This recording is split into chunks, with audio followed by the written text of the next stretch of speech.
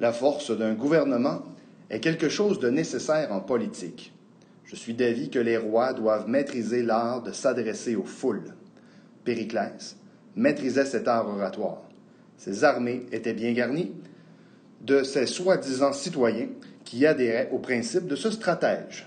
Ah, l'Antiquité.